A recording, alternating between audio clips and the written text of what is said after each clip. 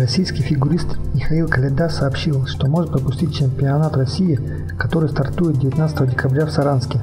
Подготовка к чемпионату России немного сбилась с курса, и такое случается. Планируешь ехать в Саранск, а оказываешься в больнице. К сожалению, участие в чемпионате России пока под вопросом. Лечитесь вовремя, друзья, написал Каледа.